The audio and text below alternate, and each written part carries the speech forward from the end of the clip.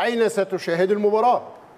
ده السؤال للكاتب الصحفي الكبير الأستاذ صالح الصالحي وكيل أول المجلس الأعلى لتنظيم الإعلام.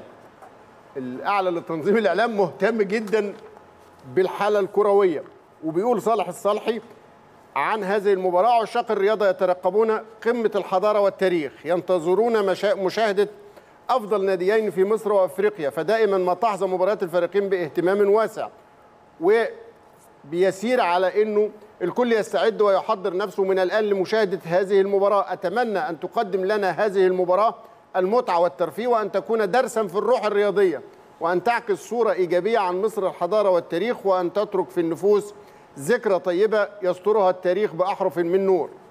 علينا كمشجعين أن نعلم أن هناك فائزا وسوف نصفق له جميعا ونهنئه وهناك من لن يوفقه الحظ ولا أقول خاسرا.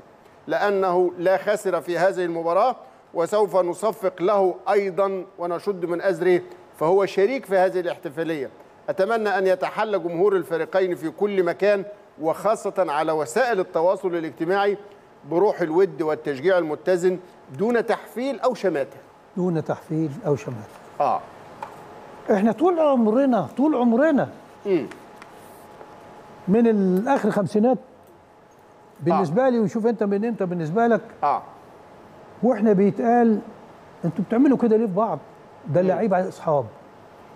وأنا يعني كنت من ضمن الشلة اللي ما كان لعيبة الكورة يخلصوا بالليل ها؟ كنا نروح نحب نقعد عند الكابتن غانم سلطان. آه. أنا وكابتن آه، الخطيب كابتن مصطفى وشوقي عبد الشافي وكابتن شوقي وكابتن زيزو. وكان أقرب ناس لبعض الشلة دي. وشفنا كابتن الخطيب وهو بياخد بإيد الكابتن حسن وبيروح والراجل ال- ال- ال- الحكم شاف. منظر عمره ما شافه ده معناها إيه؟ معناها إن المتاجرة بالكراهية في الثلاث سنين اللي فاتوا أصبحت مسؤولة عن هذه الأزمة. عمرك شفت لعيب سابق فجأة بقاله أربع خمس ست سنين ما اتكلمش.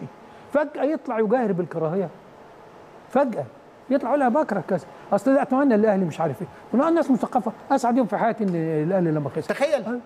يعني ماشي. يعني ممكن ده يبقى شعورك على فكرة. لكن ليه بتتاجر بيه؟ يعني أنت استفدت إيه؟ يعني تقربت أكتر لجماهيرك؟ غيظت الجماهير التانية؟ طب ما عندها برضه حاجة هتغيظك بيها. يوه. مين مين قال؟ مين قال إن الغياظ ده كسبان؟ آه. ده الغياظ ده خسران جدا. مم. لأنه هيلاقي ناس تغيظه أكتر. في ناس م- م- يعني آه، موهوبة في إنها تكيد اللي قدامها. آه. واخد بالك؟ ف لا ما فيش لعيب. أنا النهارده لما أكون أنا أنا بقى هنا مثلا أقول لاستاذ كرم هذا الكلام. أستاذ كرم ما ينفعش إن مذيع يجيب لاعب عشان يستدرجه يجاهر بالكراهية. أو يغلط في منافس أو يغلط في دي النقطة. آه. أو يغلط في تاريخ المنافس. آه. أو يقعد طول النهار يقول لك أصل عمل وسوي في الآخر تطلع مسألة شخصية. يضحك. آه. ما هياش شطارة. ما هياش إنك أنت تقول له إزاي بقى وتعمل نفسك بتدافع وأنت بتستدرجه للكلام. آه. الكلام ده كله هو ده هو ده صن- صنع التعصب. لازم نقضي عليه الظاهرة. لأن بيطلع لك واحد هنا يقابله اتنين يطلعوا لك هنا. الليلة بقت سهلة. ويبدو إنها تجارة رابحة. تجاره الكراهية دي. مم. وإلا ما كانش الناس فجأة افتكرت إنها بتحب وتكره وإنها لازم تقول هذا الكلام. مم. آه، كلنا إيدنا في إيد بعض. أيوه. بقرارات مهمة. نعيد ال- نعيد الحياة إلى طبيعتها. مش عايزين نقول المثالية مفيش مثالية. أنا هفضل آه مش فرحان إن أنا ب- بخسر أو المنافس بتاعي بيعديني. مش هفرح بس مش هكره. معيش جو الكراهية لأن والله الشعور بالكراهية بياكل صاحبه. ياكل صح بياكل صاحبه طبعا. هو اللي هو اللي تعبان. هو اللي بينام عينيه في السقف. من الغل والغيظ وال ما- ما ينفع يعني تعالوا نجرب. تعالوا نجرب نظبط الأداء. يبقى صاحب القرار بيظبط الأداء. هتجد المتلقي في الآخر مش هيشوف غير الحاجة الطيبة. صحيح. تجفيف المنابع. صح. جفف منابع الكراهية. خلي الناس تتكلم في الروح الرياضية مش تتكلم تمارس تمارس الروح الرياضية. بالظبط. تمارس الروح الرياضية. افرضها. ليه؟ لأنه كل بيت فيه أهلاوي وزملكاوي. ده اللي قالته كمان الأستاذة اماني درغام في الأخبار. في زاويتها مفروسة قوي بتقول يوم الجمعة القادم مباراة كرة القدم المهمة في نهائي دوري أبطال أفريقيا بين قطبي الكرة المصرية الأهلي والزمالك. وهذا الحدث في حد ذاته مشرف لكل المصريين الذين يشجعون الأهلي أو الزمالك. لأن معناه ببساطة أن مصر على قمة القارة كرويا ليس بمركز واحد ولكن بمركزين. هذه النقطة تحديدا يجب أن نعيها جيدا.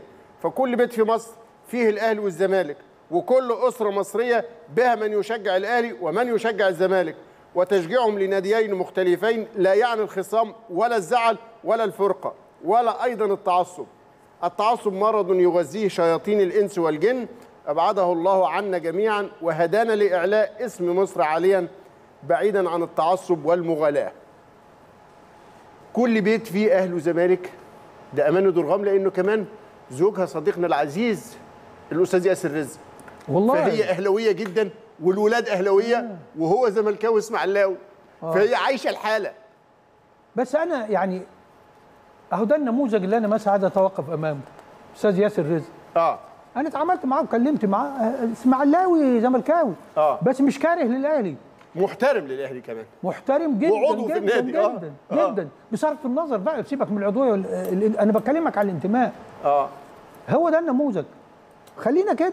أنا أحب قوي قوي الناديه وأنا مالي ومال النادي التاني ما أحبه بالظبط. واحترم بالظبط. العالم كله يحترم آه، الأهلي والزمالك. آه. إحنا اللي بيقول لا إحنا مش محترمين. هو في إيه؟ الأهلي محترم والزمالك محترم والجمهورية لما حبت تعمل مقارنة بينهم على الصعيد الرقمي طلعت أرقامهم التسويقية محترمة الحقيقة. وتفخر بها مصر إن الكرة المصرية فيها نماذج بهذه القيمة.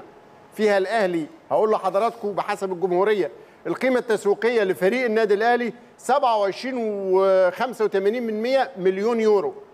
27 مليون يورو. اللعيبة بقى الأعلى قيمة الشناوي ب 2.5 مليون يورو. السولية 1.5 مليون دولار معلول زيه قفشة زيه. أجاييه ديانج 1.5 مليون دولار. يورو. يورو. في فرق 2 جنيه. انت علشان لا تفرق. معدل طبعا معدل أعمار ال- الأهلي 26 سنة مشوار الأهلي في البطولة لعب 14 مباراة فاز في 10 تعادل في 3 خسر واحدة سجل 34 هدف واستقبل 6 أهداف. الأهلي عنده 20 لقب قاري عنده 8 في دوري الأبطال وأربعة في كأس الكؤوس الأفريقية وواحده في الكونفدرالية وواحده في السوبر أو ستة في السوبر الأفريقي وواحده في الافرو اسيويه وبكرة إن شاء الله الجمعة تكون بإذن الله اللقب كلها التاسع أرقام يا مع فندم. الأميرة. كلها أرقام. آه. بتضع الاهلي في حتة. بعيده قوي آه لا مش ب- يعني سابق مؤكد في كل صحيح. الأرقام دي.